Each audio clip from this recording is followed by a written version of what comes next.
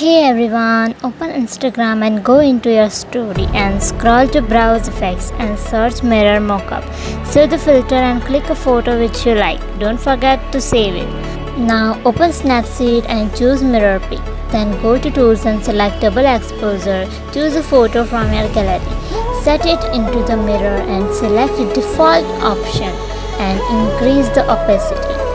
Now go to edit stack and tap on view edits. Tap on double exposure and select stack brush option and erase the mirror area properly. Don't forget to clear every single extract from your photo. Clear every single details from your photo.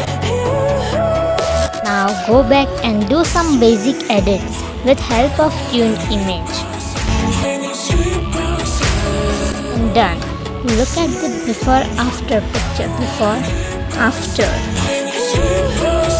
Now go to edits stack and tap on view edits and see the original pic.